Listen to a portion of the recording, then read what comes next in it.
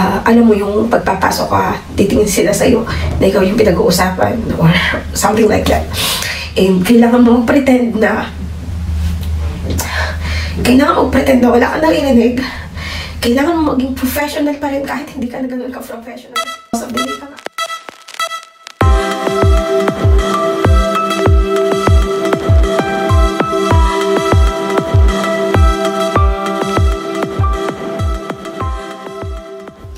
everyone and I'm back for another Kwentuhan vlog.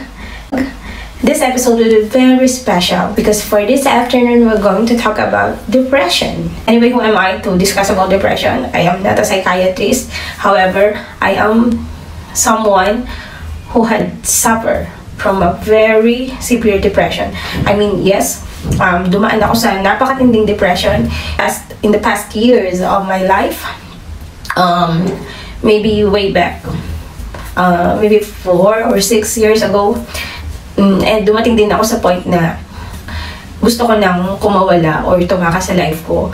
But God is still good. And that's the reason kung bakit nandito pa rin ako sa unahan nyo or nandito ako sa YouTube channel na to at nagsasalita in front of you, in front of everyone. So yun.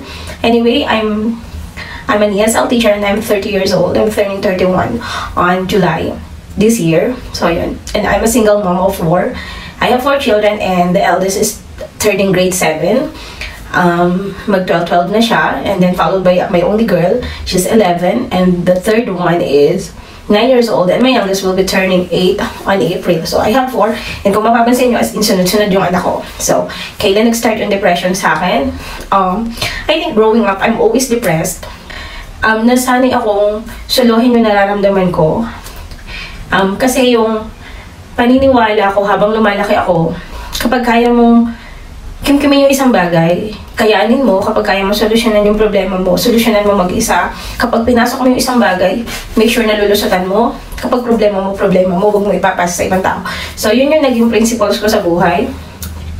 And that's the reason kung bakit hindi ako palasabi ng problema sa mga kapatid ko or sa mother ko. Kasi isa pang reason is, ayaw kong makadagdag sa problema nila kasi alam ko bawat tao may mga pinagdadaanan. So, ayaw kong dumagdag sa problema ng family ko, especially to my mom. And my mom is also single mom kasi pag kami magkakapatid and grade 1 pa lang ako namatay na yung father ko. So, my mom was strong enough to raise the five her five children na pag-aral niya kami lahat. And hindi din ganun kalak, kadali yung pinagdaanan ng mother ko, yung mga struggles niya, bago niya kami napagtapos. That's why, in myself, I always believe na kung yung nanay ko kinakaya ang problema, bakit ko ipapapasan yung problema ko sa mother ko, eh siya nga nakaya niya, eh lima kami. Ako naman, apat lang yung anak ko, bakit hindi ko kakayanin? And my mom, hindi siya nakapag-high school, hindi siya napagka, nakapag-college. Ako, kami magkakapatid, pinagtapos niya kami ng high school and college. So, anong reason ko para hindi kayanin yung mga struggles ko o yung mga problema ko, especially financial burdens ko, bakit ko sa parents ko? Eh, si nanay nga, o yung mother ko, kinakaya niya. So, bakit, bakit ako magiging mahina? So, yun. Um, I always believe na malakas ako. I always believe na kaya ko yung mga problema, kahit hindi naman talaga. So, I always believe na malulusutan ko yung problema kahit yung solution ko sa problema is mali pa rin. So, alam mo yun, basta ako, ang gagawin ko, lulusutan ko yung problema in my own way. Na ako lang nakakaalam, na ako lang. So, yun. Fast forward, um, 18, nag, nabuntis ako numaga. So, at 19, graduating ako ng college. So, may, may baby na ako. So, from that time on, sunod-sunod na yung mga anak ko. And, even to the time na magkasama pa rin kami ng father ng mga anak ko, ako na halos yung sumasupport sa mga anak namin. Yun nga, sunod-sunod na yung pagkakaroon namin ng babies. Sunod-sunod yung mga anak ko. But, hindi naman yung mga anak ko problema. So, yun. So, ibig sabihin, lumalaki yung mga problem, lumalaki, I mean, lumalaki yung obligasyon ko as a mother. And imagining that I'm just 19, and then 23, apat na yung anak ko. Alam mo yun, pag may problema ka, sasabihin ng mga tao, yan kasi anak-anak ng madami. Yan kasi anak-anak ng madami, tapos ngayon maghihirapan ka. Tapos ngayon mahihiram ka ng pera. Tapos ngayon, ano, hindi mo naman pala kayang buhayin. Alam mo yun, takot kang magsabi ng problema sa ibang tao. Kaya, pipiliin mo na lang, solusyonan mag-isa yung mga problema mo. Kasi natatakot ka nga magsabi. Kasi alam mo na agad yung judgment ng society. Alam mo na agad yung judgment ng pamilya mo or ng mga kaibigan mo. So, instead of sabihin mo yung problema, anong nangyayari is kikimkimin mo na lang. So, yun, yun, yun yung nangyari sa akin. So, hanggang sa umabot na apat yung anak ko, I never seek for help from other people. Kasi whenever I tried, whenever I tried, masakit lang na makakarinig ka pa ng masakit na salita and masakit lang na instead na tulungan ka is parang mas makakabigat pa sa nararamdaman mo yung maririnig mo mula sa mga taong hindi hingan mo ng tulong. So, yun. Yun na nga, guys. Nagsunod-sunod yung anak ko. Tapos, as a secondary school teacher or high school teacher, another depression na nandiyan yung postpartum na tinatawag, di ba? Postpartum depression, yung mga bagong panganak. Um, sunod-sunod yung babies ko. I don't know kung ang napagdaanan ko ba ay postpartum. Pero siguro, scientifically speaking, maaari, partly, nung depression ko is postpartum. Kasi nga sunod-sunod yung ano, man ako. And since wala naman tayong enough capabilities or financial support para mag-seek ng, ng medical treatment or medical support, hindi ko alam na yun na, na lumala o na nakakaya ko naman i-handle yung sarili ko. So, yun mahirap i-balance yung, yung, ano mo yun, pagiging housewife, pagiging mother of two, three, hanggang sa naging four, pagiging teacher at the same time. And when I was a high school teacher in our country, sa Pilipinas, loaded yung schedule ko. Tapos iba't ibang klase, kailangan ko ng limang preparation. E, imagining na may tatlo akong anak nung unang mga taon ko ng pagtuturo. Um, ako pa rin yung maglilinis ng bahay paka-uwi ko, ako pa rin yung maglalaba um, hindi ko na nagagampanan yung mga paperwork sa school. So, yun. Dumadating sa time na nagiging blame ka ng mga teachers sa pagiging cause of delay mo. So, yun. Alam mo yung part na pagpasok mo sa faculty, yung, yung mga times na kailangan mo pumasok na umaga um, kailangan mo pumasok ng aga. Tapos, wala ka pang isasubmit. Parang bata, no? Takot kang pumasok kasi wala kang isasubmit. Kasi bakit hindi mo nagawa?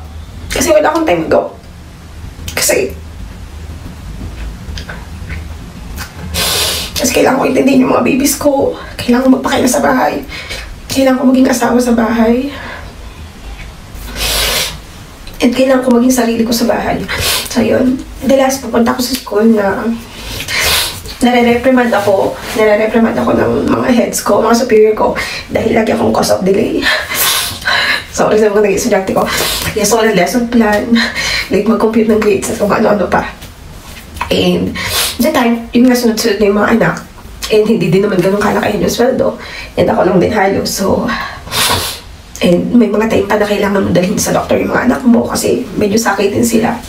So, short yung budget. Nagagastos mo yung class funds. Yun, hanggang sa magiging issue ka na ng school. Parang ikaw na yung usap-usapan ng mga teachers. Uh, alam mo yung pagpapasok ka, titingin sila sa'yo na ikaw yung pinag-uusapan or something like that. And kailangan mo mag-pretend na kailangan mo pretend na wala ka narinig kailangan mo maging professional pa rin kahit hindi ka na ganun ka-professional kasi cause of delay ka nga. Kailangan mo humarap sa mga estudyante mo ng nakasmile kasi magtuturo ka. And there are times din na papasok ka sa school na pumapasok ako sa school na pukto yung mata ko. Kasi kagagaling lang sa away, away mag-asawa. Madalas nangyayari yun, guys. Madalas nangyayari yun. Madalas kami mag-away ng ex-husband ko.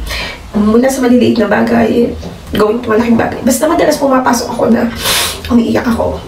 Mainly dahil emotional na tao talaga ako. Iyakin talaga ako. Mahina ako mag-handle ng masasakit na salita. So, yun.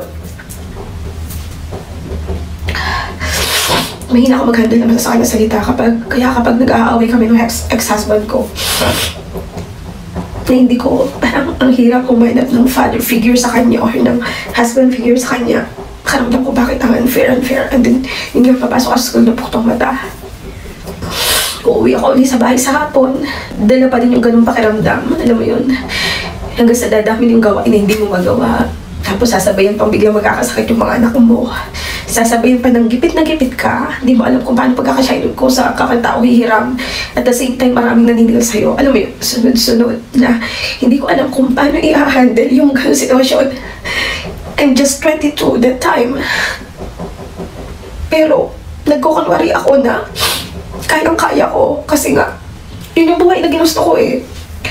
Hindi ako nag-iingat sa sunod yung mga bibis ko. Ayaw isipin ng mga anak ko na sila yung problema. That's why, pinipilit kong gawin normal yung mga bagay-bagay. Design ako sa private school, private school. And nag-apply ako sa public. Yun na nga, apat na yung anak ko. And mas lumalaki na yung responsibilidad. The same pa rin kailangan ko pa rin maging asawa, kailangan ko pa rin maging ina, kailangan ko pa rin maging teacher, kailangan ko pa rin maging kaibigan. And hindi ko na-enjoy yung pagiging teenager ko kasi maaga ako nag-asawa. Nasa public school na ako. Uh, mas maganda yung sahod ko para sa pri- private school.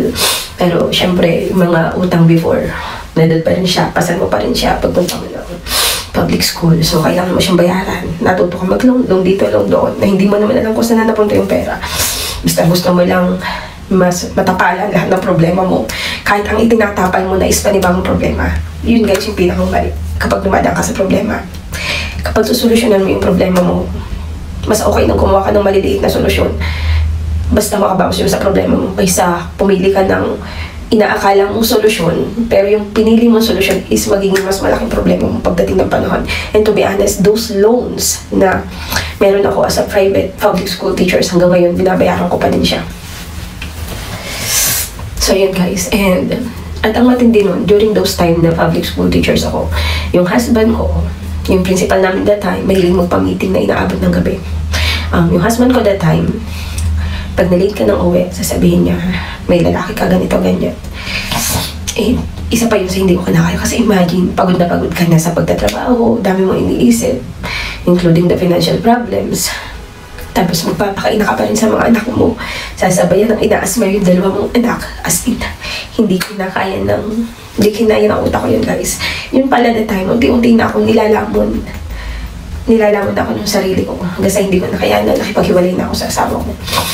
And maybe in my future vlogs, ikukwento ko sa inyo yung pinaka-reason bakit ako nag-resign as public school teacher. Pero yun. So yun nga guys. So, hanggang sa nag-resign ako sa public school teacher and bago yung bago ako pumunta sa China, katakot-takot pa rin yung mga pinagdaanan ko kasi hindi ko alam kung saan ako kukuha for the meantime. Doon sa mga months na nagpa-process ako, hindi ko alam kung paano bubuhayin yung mga anak ko. And ang daming judgment na maririnig mo from the other people na even doon sa mga tao na akala mo magbibigay sa iyo ng kind words, hindi ka makakarinig ng mga ganda salita from them. Bagkus mas masasaktan ka. So yun, pag-usapan natin kung paano ko na-overcome yung depression ko those times na mas masasakit na salita yung naririnig mo. So yun guys, pag-usapan na natin ngayon kung paano ko na-overcome yung depression na pinagdaanan ko. So those time na talagang nilaman na ako ng matinding takot, lungkot, anxiety, ang baba. Sobrang liit na tingin ko sa sarili ko. To the point na ang tingin ko sa sarili ko is basura. Ganyan ayaw ko nang magbukas ng bintana or ayaw ko nang lumabas kasi nahihiya ako sa mga tao. Pero kailangan mong bumangon kasi may apat kang anak eh. And during those time, may grade 2 na ako. Grade 2 yung panganay ko. Tapos, kinder na yung baba, anak kong babae. So, hindi pwedeng magmukmuk ka dyan sa higaan. So, yun guys, kailangan mong bumangon. Yun yung pinakang mahirap na kailangan harapin ng isang taong depressed. Yung kailangan mo kumilos, mag-function, kasi kailangan mo mag-function. Hindi ka naman artista na mag-emote-emote yan sa kama. Hindi eh, hindi ganun eh. As a mother, kailangan mo bumangon para intindihin yung mga anak mo, gawa ng solusyon yung mga problema mo. So yun, papasok sila. Wala, kablahan na lang ng mukha guys, kapalan na lang mukha ko sa nakukuha ng mga pambaho ng mga anak ko. Dadating pa sa time na yung isang gatang na hindi ko alam kung, hindi ko alam kung paano ko pagkakasyahin sa kanila. Hindi ko kukuha kong kung hindi ko alam kung ano ilalaksakan ko. Those things na pasan mo yun habang nilalabanan mo yung depression. Paano ko na nalampasan yung depression, guys? Kasi guys, tuwing gabi, bago ako matulog, galing namin mag-iina na magdasal. Galing namin mag-iina na magdasal. And yun yung number one na cure the depression. Depression has many cures. Depression has many cures. Hindi lang medicine ang gamot sa depression. Kahit wala kang psychiatrist, pwede kang gumaling from depression. So, during those time na I know I'm suffering from depression, na kailangan mo pa rin mag-function habang pasan mo sa balikan mo yung depression, pasan mo sa kabilang problema, sa balikan mo yung mga problema mo. And may mundo kang kailangang harapin. May mga anak ka na kailangan akayin. Habang, habang tinutuloy mo yung life mo. So yun, tuwing gabi nagdadasal kami ng mga anak ko. And other than prayers, talagang yung mga kids ko yung reasons kung bakit ko nalampasan yung ganong stage na halos ayaw ko nang bumangon na gusto ko na din tapusin yung life ko. So yun, hanggang sa dumating na nga sa point na I need to make the biggest decision of my life and which is working in other countries and yun nga, napadpad ako dito sa China. Bago pa ako makalis, marami pa din nangyari na na parang ayoko mapalis. Alam mo yun, ilalabas na yung visa, ang tagal pa. Ang dami mo parang naririnig na masakit na salita na inip na inip ka na sa buhay mo. Gusto mo nang magpatuloy eh. Gusto mo nang umandar. Para ka nakastuck sa isang posisyon na hindi ka makakubang. Hinihintay mo yung mga result ng mga ginagawa mo kakubang para makatakas ka na doon sa depression na yun. So yun. So, yung gusto ko sabihin sa sarili ko those times, sa mga anak ko sinasabi, ah, mga anak nasaan tayo, ganyan. Alam niyo si God, kahit marami siyang pinakikinggan, kahit marami siyang pinakikinggan, alam mo si God, may isa siyang nerve. so, tenga niya na naka-specify para sa ating mag-iina. Papakinggan niya tayo.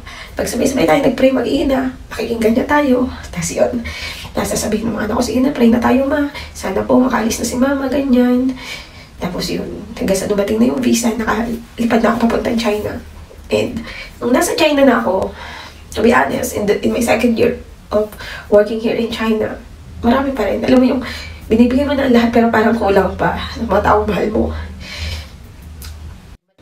So, dumating sa time na may nagawa kong hindi dapat sa sarili ko. And nalaman yun nung dalawa kong kapatid, ano, tatlong kapatid. And from the time, nag-reach out sila sa akin. Pinaramdam nilang mahal na mahal nila ako. And which I'm very lucky of. Kaya mag-isa lang ako dito sa China. Ah, sinaktan ko yung sarili ko para magising ako. Kinulbit ko yung sarili ko pero hindi ko pa rin gustong mamatay yung sarili. Pero huwag na huwag yung gagawin yun. Para lang malaman nyo kung may nagmamahal ba sa inyo. Kasi that's very wrong. Marami, maraming reason kung paano ma-overcome yung depression. Napakasimple lang. At kailangan mo ramdamin yun at maniwala ka. Pag naniwala ka, gagaling ka na. So yeah.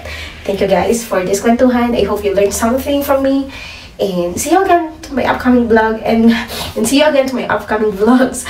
And nga pala kung bago ka pa lang sa channel na to, please don't forget to like, leave a, com leave a comment down below, click the subscribe button and click again the notification bell button so you are always updated to my upcoming videos. Please subscribe.